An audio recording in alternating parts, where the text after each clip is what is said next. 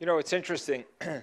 when when the Grammy Museum opened, and I, I know this was coincidental, but it was something that actually happened. We we opened in uh, we were supposed to open in September of 2008, and thinking that it might be a historic election, uh, we decided that we would do our first temporary exhibit, which is right out here where the Whitney Houston uh, exhibit is right now, and a, um, an exhibit called Songs of Conscience, Sounds of Freedom.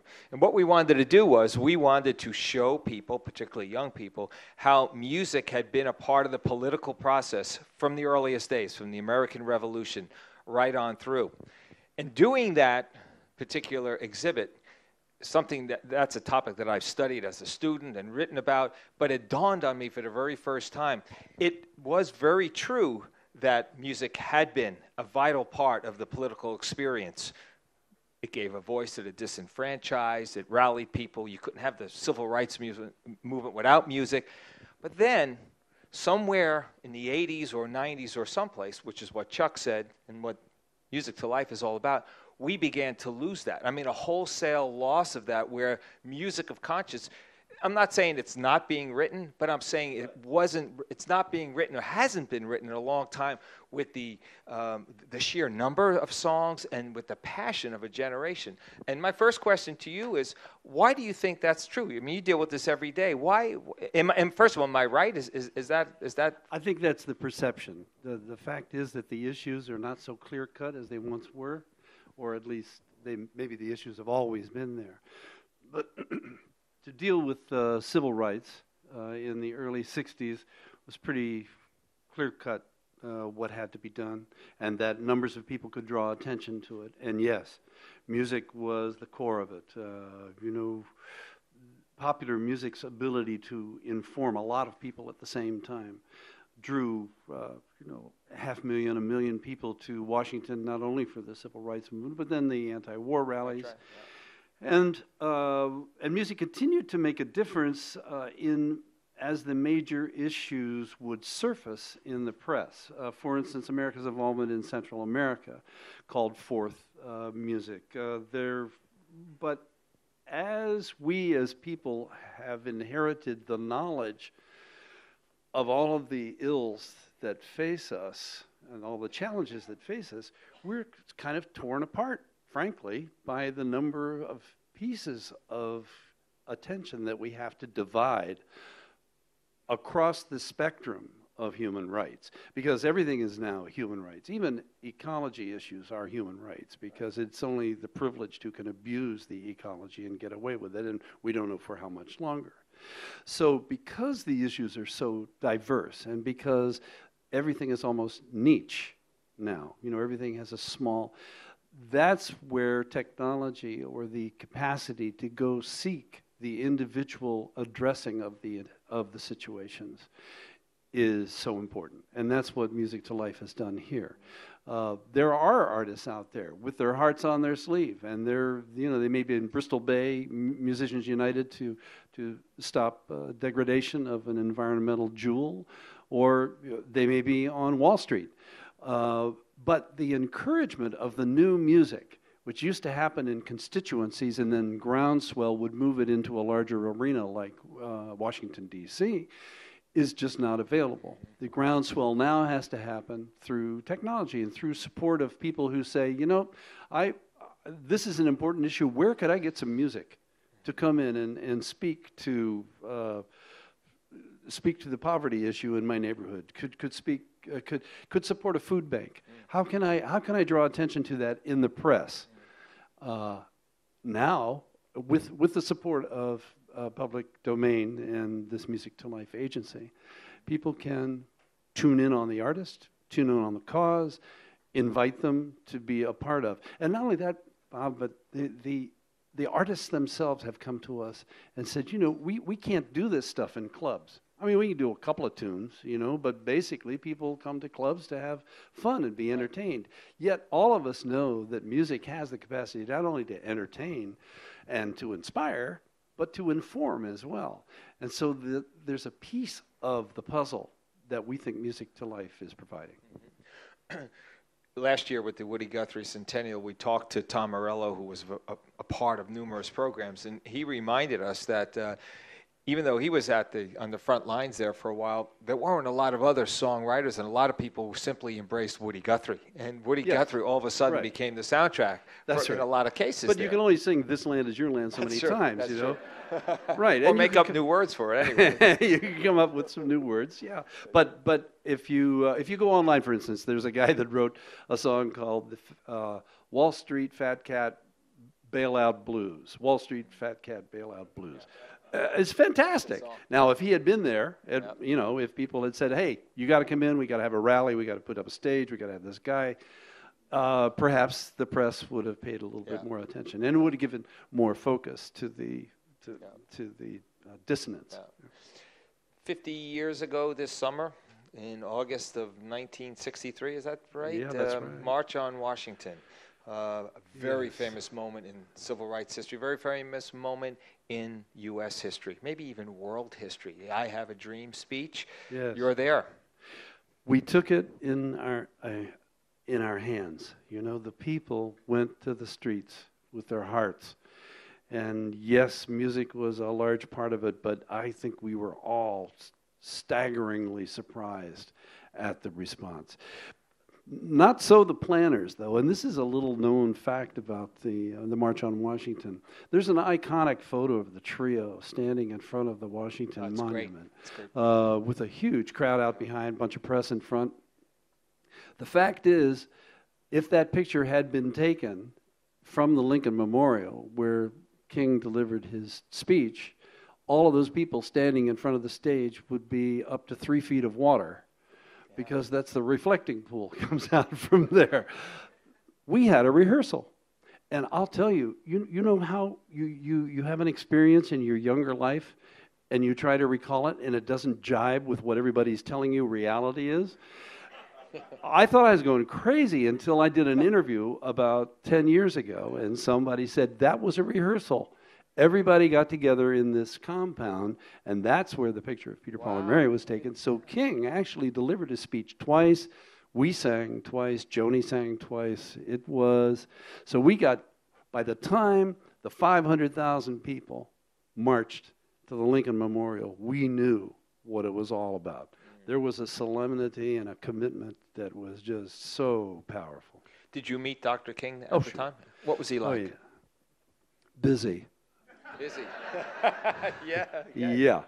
And, uh, but dedicated. And, you know, when y- you meet someone who graciously gives you a moment of their time, but you know that they're carrying the weight of a movement, uh, you don't, you don't quarrel with the short shrift that you got. He was ve- he was inspiring, and so were his lieutenants. Everybody, you know, the NAACP, all of the, uh, and they they were they were kind in the way that folk music, and, I, and you and I are reminded many times of Seeger's insistence on the, on the equity and the ethic of folk music, because there was an inclusion of supporters. There was a, you know, there was uh, Mary. I think uh, described it the best. She said she had never been in a place where hope was so palpable. Yeah, sweet. I miss her. We miss her. You know, she's. We uh, Peter and Mary and I are doing a 50th anniversary book, uh, which contains some of Mary's writings. Uh, towards the latter part of her life, she died in 2009. For those of you that didn't know, um, the the the roles in the trio had shifted considerably, and she was now the comedian, was a lot uh, freer to speak on stage, and a lot of that is reflected in the text in this book, and and another book that's coming out in ancillary to it uh, later this year called uh, Mary Travers: A Woman's Words. Oh, nice. We'll look forward to that. You know, when I think of you in particular, it seems like you had always been involved in folk music. You'd always been involved in songs of conscience, but that's not really true because you don't really come from the traditional folk roots necessarily. No. Talk about your early days as a musician, as a kid growing up. Oh well, that's very kind of you to think anybody'd be interested in. Well, it, it, it, it's not where you think You- well, it's you true. came from. Yeah, I Peter that and Mary. Peter me. and Mary were the folkies, and I was a young kid from the Midwest who came into Greenwich Village with an electric guitar and a background in rhythm and blues. Really, I knew all the doo doo up da bee da boo boo bee dee wo bo ba boom be be do why do, and I was so into jazz, and that's why when when you listen to the early Peter, Paul, and Mary records in the anytime you hear a color chord in other words instead of an a it's like a a major seventh that, that's me. And uh, and yet i think to a large extent it provided that kind of curious head twist. You'd go well that's hey that's and we i think it's so ironic the way that life unfolds in in its honesty and you get swept along in it and you look back at it and you go oh right of course that. I mean why are we called peter paul and mary? I mean we we, we thought the willows would be a great idea. Uh, people didn't have group names individually. Maybe lambert hendricks and ross right? But uh, peter paul and mary. So i said well i'm not going to change my name to paul. I'll take it on as a middle name. Will who knew the middle name took over my life you know so it was a long time getting noel back you know? But but but if you think about it if you've ever if you ever went to a peter paul and mary concert or you ever heard listened closely to peter paul and mary harmonies they were not we didn't do chalkboard where you draw three lines across the line you know to make your music like that. They were not parallel harmonies. Everybody had a say in it. We made up our own harmony lines much like we conducted ourselves on stage we would have three solo sections where we would add. So the um, the coming together of our different backgrounds really was part of the charm. The fact that you know when you see uh, let's say your mom and dad have a really bad argument and then they make up and you go ah as a kid well we were constantly having arguments and we would make up on stage. I mean not necessarily kissy face kind of make up on stage but any any of the tensions that went into the group you could see them resolve even if it was to the point of somebody awkwardly backing into somebody else. You know i mean wasn't that why we got rid of richard nixon? Was essentially because he was so damn nervous about all his mistakes and he it wasn't like he couldn't admit them. But when people are honest with each other on stage there's a kind of a sense of participation in their vulnerability But, but you, you, you come east. Did you come east because of your rhythm and blues I came east to meet women. I really, I was a young, you know, I was 20 years old. I wanted to go to New York City and get my own apartment and meet a girl. And what did I know? And then I went to Greenwich Village, started playing chess, and they replaced, uh, you know, one of the tables with a stage. And I said, "Oh, really? What do you got to do?" And they said, "Come down and audition." So I came down and sang the Mickey Mouse theme song as a rock and roll tune. They loved it. And I was about the weirdest thing in the village for about two years. but you, you know, don't you find, if you've been here before, don't you find that Bob relaxes you when he speaks to you at the beginning of these sessions? Because he's, he's very comfortable with what he does, and he has something to say, and he knows what it is he wants to say. Ironically, in the village, most of the really well known songwriters, and I don't think Bobby Dylan would mind if I told this on him, were really uncomfortable if they had to speak. They did it through their music. They sang through the music. So somebody like me, just to put a period at the end of this, uh, how did you get into show business sentence? I was really comfortable doing master of ceremony stuff because I learned the secret. The secret is you have some information tell them the information. It's not about you, it's about the information. So I got a lot of opportunities to work with a lot of really interesting people. Uh, you know, Richie and Cause, and uh, uh, yeah, it was a really, really great, uh, really great experience, and no small part because I came from a different background. Right, right. As did Mary to a certain degree, correct? She was interested in being an actress more than being a singer. I read that somewhere. I don't know if that's true or not. No, it's not true. Um, Okay. as a matter, See how easy and loose and nice I am when I make a mistake? no, it's, I, sir, I read that. I, Yeah, that's that's very interesting because uh, Mary, you you can read Mary's uh, till the book, descriptions yeah. of herself. I mean, pe- people used to say she was so sexy, you know, and the, the reason she had this frenetic energy is because she was scared stiff on stage. Uh, she was just nervous. She was like a colt, you know. She couldn't wait to get out of the gate. You know, I had to sing and then get off, and yeah. So the idea of her being an actress, no, she did. She was on stage uh, with Mort Sahl, uh, you know, kind of a lefty Yeah. comic, and uh, and anything that was politically progressive, sh both she and Peter were, had been a part of.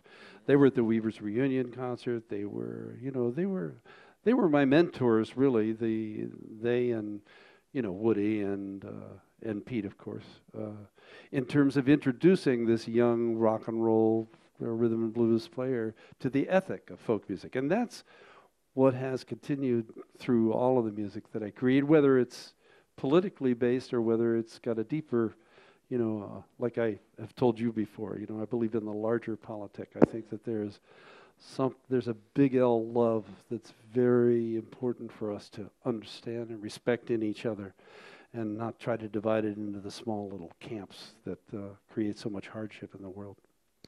You know, that period is often called the folk revival period. You know, it starts maybe with the Kingston Trio with Tom Dooley, and then and then there's Peter Paul and Mary, there's Chad Mitchell Trio, there's Joan Baez, of course, there's Dylan, et cetera. I mean, there's just a whole just explosion of folk music. Yeah. And today, when we think about folk music, there will be people who say, folk music's dead. You know, it's it's it's a historic form now. It was very popular back then, mm. but today it doesn't really have any relevance. How how would you respond to that?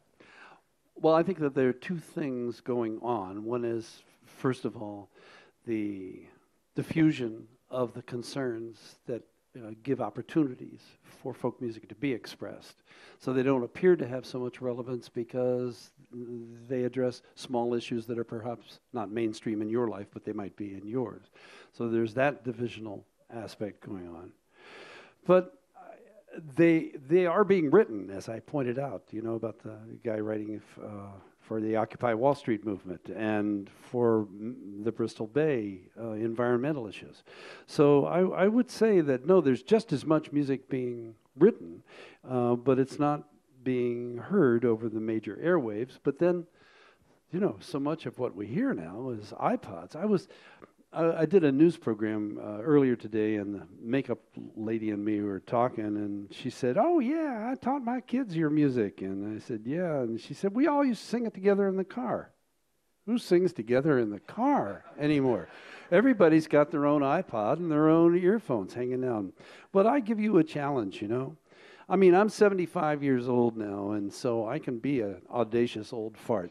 And I, and I'll tell you, tell your kids to put the iPods away, and they'll go, "Oh, bummer! Oh man, I was just I don't want to, what are we gonna?" do?" And then they'll say, and just say, "Oh, we ain't got a barrel of money. Maybe we're bragging and funny," and you sing it with them, and you know at the end of the trip they're gonna say.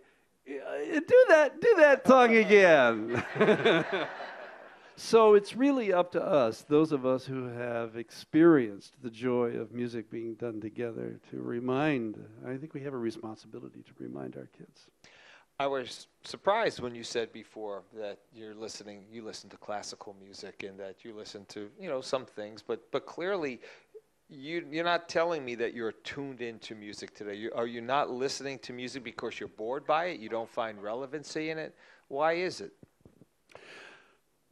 If I could be candid, uh, music with, I, if I go to a motion picture, if I can draw an analogy, and I find it, it can be a pretty bad movie, but if it's got something redemptive in it, I mean, if somebody learns something, if there's something that pulls me to it, um, where somebody's life has changed, some attitude has been adjusted, somebody's painted a picture of hope for the future, then I'm all over it. You know, I'll say, hey, it's not a great movie, but, and so when I listen, frankly, to music today, I, I am struggling to parse the components of the music because I'm.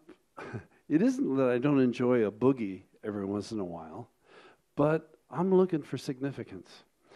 And I guess it's part of what you inherit when you do folk music. You know, you just, you're looking for the meat of the matter. And um, so much of what I hear in music now seems to be wallpaper. It just, it's just. And unless the lyrics are way out in front and you hear it making a redemptive statement, it becomes entertainment. And on that kind of level, I would rather go to the complexity of Bach and Handel and hear the inner workings of the music than I would hearing four, four minutes of, Ooh, baby, I love you so much. Ooh, baby, I love you so much. Oh, baby, I love you so much. Oh, baby, I love you so. I would. Even though, on the other hand, I understand the value of learning English as a second language.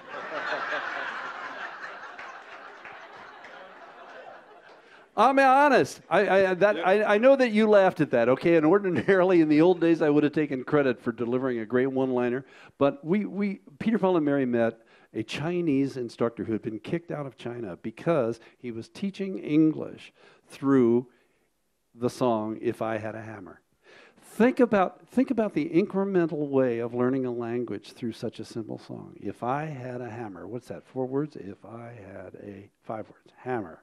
I already got it. Hammer. That's you're just repeating two of the words. In the morning. Ooh, three new words. I'd hammer in the evening. All over this land. I'd hammer out. There's hammer again. Incrementally, he was teaching these kids the English language. But unfortunately, the meaning of the song got through to the kids, and they and they had to kick him out of the country.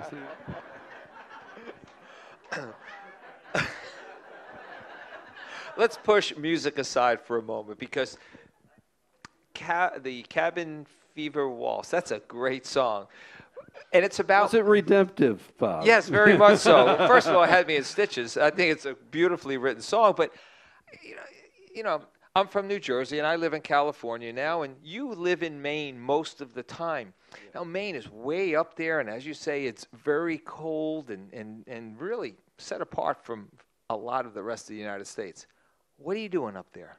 I mean, uh, what, uh, I'm just curious. I know you have a couple of Maineites here, and maybe they can help, but I'm, I'm serious. Uh, it this seems like question. you have a lot to do. Okay. I, would see you in New York. I'd see you here. You got so much going on musically. You're you're so actively involved. I'm just curious.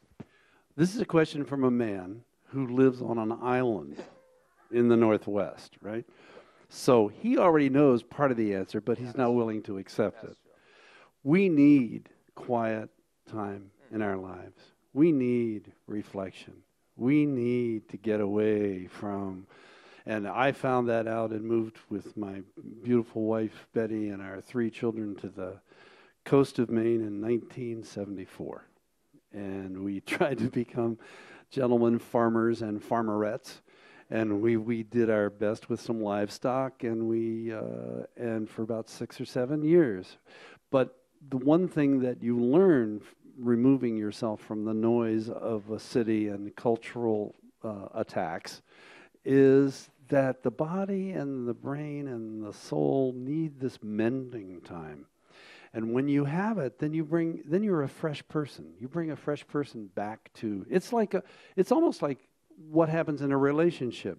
You can't have a relationship if you're living in your back po- each other's back pocket all the time. You have to have space apart so that you can become the person who the other person fell in love with to begin with. You must have your time, your favorite, you know, your your your your private time. And so, uh, you know, it's it, it's very awkward for me uh, still producing music. I mean, what can I do? I mean, I, I go into a studio I make these records and then I sell 400 of them on CD Baby. But I have to do it. And it's a product of my reflective and quiet time. So I'm not going to do a 75 city tour. I think I probably could. I, I probably wouldn't even have to get a semi. But, but I think that Maine reminds me, is a reminder Yeah. Sense. There's uh, just a funny little anecdote that's come up lately about it. When Betty and I first moved there, uh, there was no uh, there was no nursery school, and we had three children. And Betty took it on herself to create a nursery school uh, in the neighborhood, and uh, so we did a benefit at the town hall. Town hall holds about half of many people as are here tonight, and but it was packed, and we we raised money for the nursery school, and our next door neighbor, I noticed, was standing over on the side as the crowd went out after the concert, and. Uh, he came over and he stood there, and I'm packing up my guitar, and he's still not saying anything. You, you have to know a little bit about the gestalt of the mindset in Maine. Anyway, but anyway, he's standing there, he's watching me pack up the guitar. I figure he's going to say something at some point about the concert because it's kind of odd to have this guy come in and do it. And finally, he says, uh, Yeah, there's a lot worse ways to get to know your neighbors.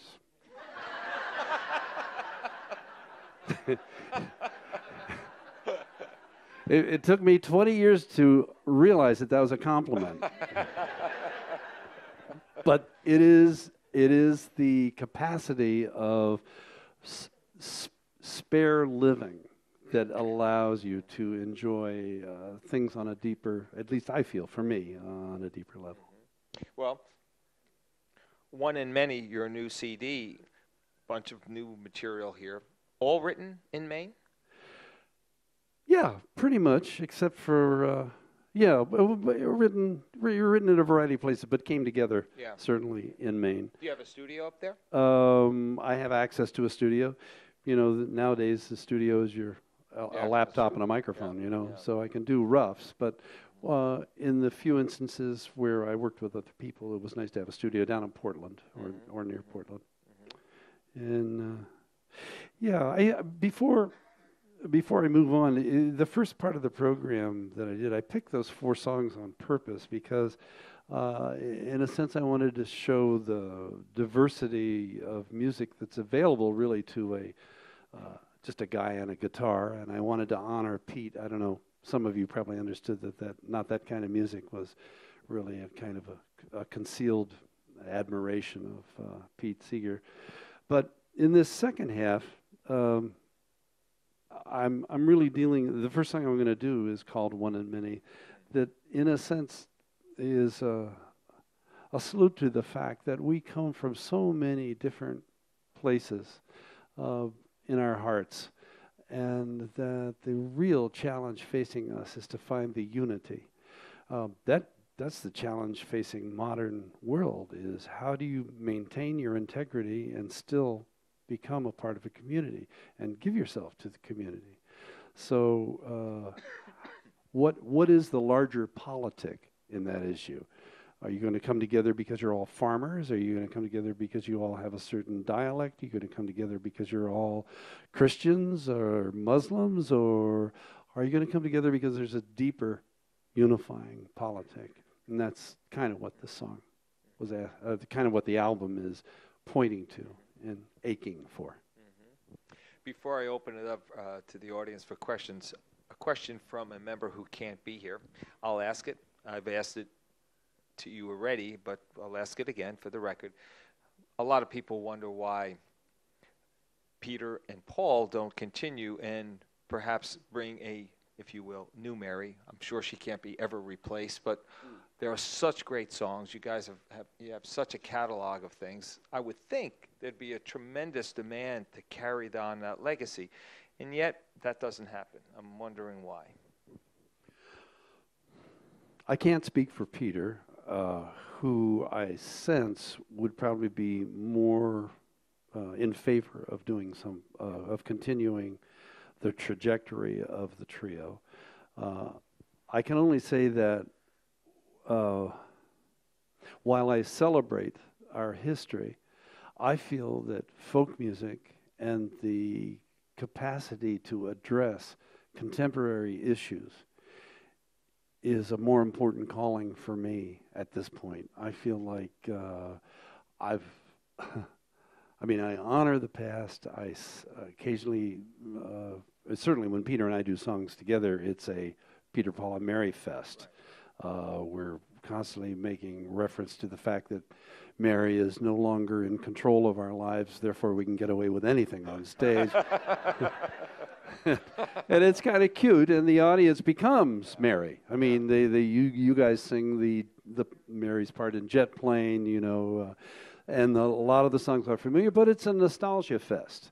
And honestly, in my heart, I feel like I'm still being called to write things that are challenging contemporarily.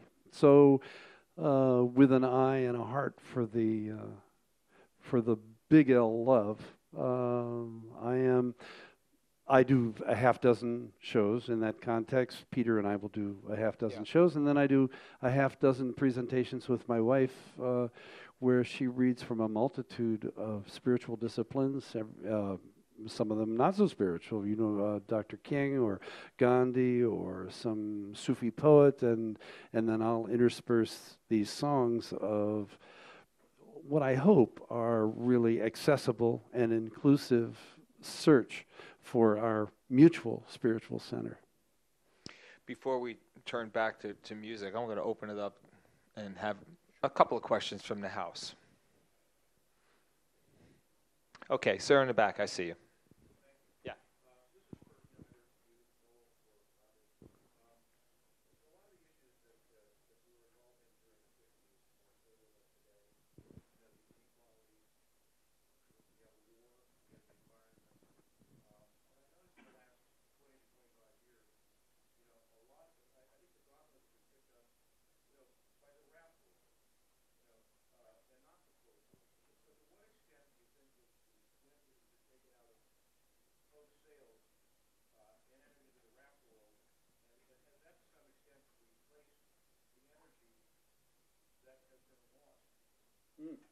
A good question. Yeah, that's a great question and a good way to put it, and I think you were very fair. I don't think that's a biased question.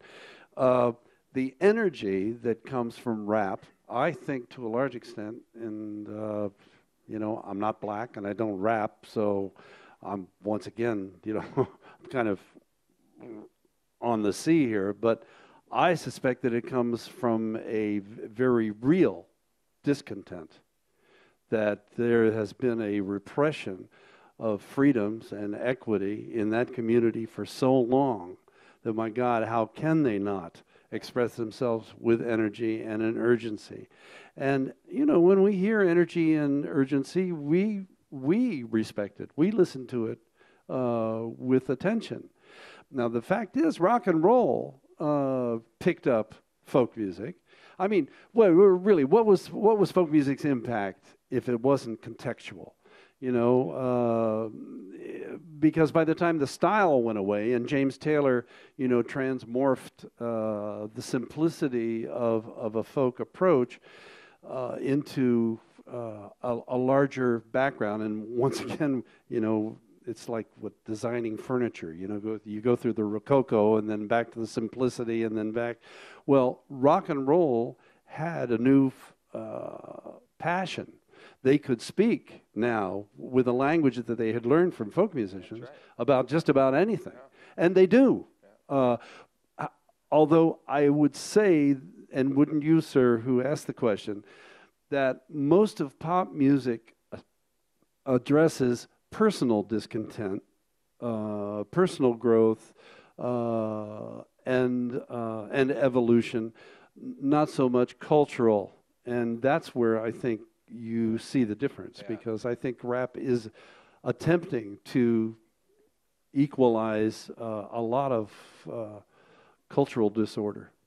If it weren't sold out, I'd invite you and others to come in about two weeks' time here for an evening with Public Enemy which will be here, and listen to Chuck D. I mean, Public Enemy is, you know, the Bob Dylan of, uh, of rap. This, th- that group was highly instrumental, highly instrumental in keeping on songs of conscience and, and expressing the outrage, expressing, but expressing what folkies were doing in the 60s Rap, you're right. It took the mantle because it had to, I think. And Chuck D is uh, he's like the third time they're going to be here. We just can't get enough of them because Chuck is a, a, music historian. They're going to be inducted into the Rock and Roll Hall of Fame in two weeks, which just so happens to be here in Los Angeles, right, right across the street, actually. So um, that, if any of you are interested in following that kind of thought, listen to "It Takes a Nation of Millions or listens to a, a, a little bit or sample Public Enemy, you'll kind of understand what we're talking about here. Yeah. Uh, what's, what's your favorite song that you've written, and what's your favorite song that you've ever performed, if it's not the same, and why? Uh, the, did everybody hear the question? I was afraid of that. Uh,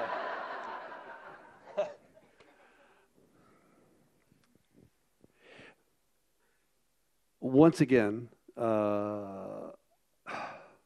relying on an answer that was not that did not originate with me. When Mary was asked her favorite song, she would say, "Songs are like children. Some nights they behave better than others." so I could list for you a couple of songs that staggeringly, when I looked at them uh, from the distance after having created and sung them, I have said to myself, "My God, I still can't find a flaw in it. And that song, I mean, these songs were probably you don't know because I don't travel that much. But I wrote a song called "For the Love of It All," which uh, I started to write, and it says, uh, "Thank you." People from Maine, you know, you can't. it's uh, you know, in the beginning, this life became form, and I'm starting to write the song, and I'm thinking, my God, how how how many verses am I going to write? but I, I, managed to get it into three verses. Uh, the new song that I'll be doing tonight, called "In These Times," uh, really I think touches on some things that we share. Uh, it's a combination, you know, appreciation of music is is a combination, as you well know. I mean, you're here, you're hearing some songs that, you know, maybe challenge you philosophically, but you know, if they're not pretty, you know, if they're not going to get into your heart or your ear because they're because they make you feel uncomfortable, then you're not going to let them live with you for a while. So I, I, suppose in all analyses, I look back at it, you know, and I, am pleased to have written everything that I've written. Um, and I would not pick a favorite, um, but thank you for letting me wax about my children. A couple more. Yes, sir.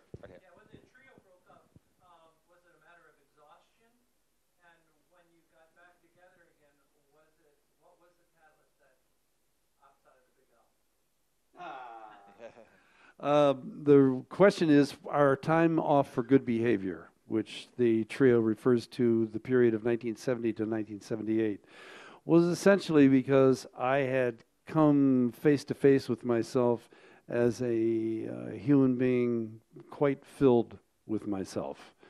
Of fame, you know, you live in a city that's full of the possibilities of doing that. Um, and I fortunately came face to face with the opportunity to admit that there was a higher power. I've uh, had a wonderful spiritual experience that connected me with God and a, uh, I mean, to that entity that I refer to as God in a very conversational sense. And the moment that you have a personal uh, back and forth with the with the unknown that that you can refer to in guiding your life and, and saying, you know, something's not right about this. Well, who are you saying that to when you say that? So the that spiritual experience prefaced my move to the country. Moving to the country away from the city and the complexity of fame was the healthiest, most wonderful thing I could have possibly have done at the time. And though I did not think that there was going to be uh, a, f- a furthering of Peter, Paul, and Mary, I thought Peter, Paul, and Mary were done between 1970 and 1977. Peter said, There's a nuclear plant going in Diablo Canyon. Can you come do a benefit? Well, you know, old folkies never die, they just do benefits. So, you know, so I said, Sure, I'll go. And my wife said, You go back to that, you're gone. Well, she was right, but I was right too, because when we did get back together again, instead of doing the 250 concerts a year, let you process that, that we were doing for 10 years between 1960 and 1970, we finished this 12 city tour, and the manager said, So you want to do this again next year? 12 cities. Well, we did finally get up to 30, all right? But still, it was so manageable. My God, we got to have a personal life. I could get to know my daughters, I could get to know my wife. So, that's uh, so the, the the the getting back together again was in uh, 1978 right here in California actually. Uh, yeah, I'll never forget it because George Carlin delivered his famous peace uh, his peace talk, peace through uh, Nerf bullets. No, no, wait. Peace by personal introduction. Said, I haven't figured out whether it's in two lines passing each other or the one guy at the end of the line goes around to the. But anyway, he was he was brilliant. It was the old George Carlin and it was the old Peter, Paul, and Mary again. Before we go to the last question, we're going to turn it over t- to uh, Noel for some more music. He will be signing uh, copies of the CD, so stick around after the show is over and um, say hi and, and pick up a CD and, and get a sign because you will do that. I, I should have checked with you. Okay, okay, okay. Okay, one last question. Yes, sir. Gordon Lightfoot was here uh, the last couple of weeks, and uh, he was asked about uh, covers of his songs that he either liked or didn't like. And basically said he never met a cover of a song that was done by him that he didn't love. But he also mentioned the earliest covers of his songs were ones that Peter, Paul, and Mary did for Lovin' Me, Early Morning Rain. Yeah. Did you ever have a conversation with him about what the what your versions of those songs meant to him?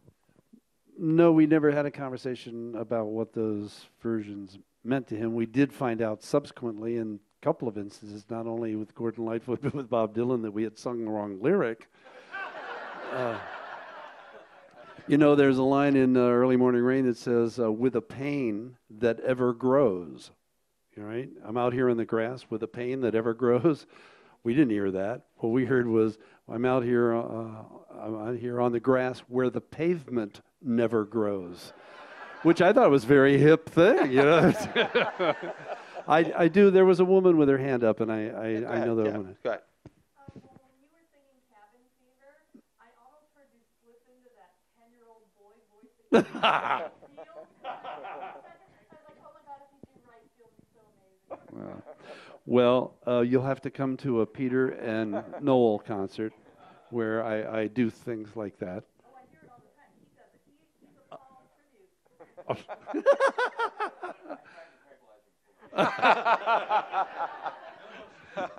Well, thank you. Yeah, I do lapse into voices. I, I've always loved voices and sound effects and stuff. And, and if I feel that it's going to be complimentary to the mood, I'll, I'll, I'll go there. Hey, thank you all. You were that's really it. lovely. Noel oh, audience. Stookey. Turn it over to you.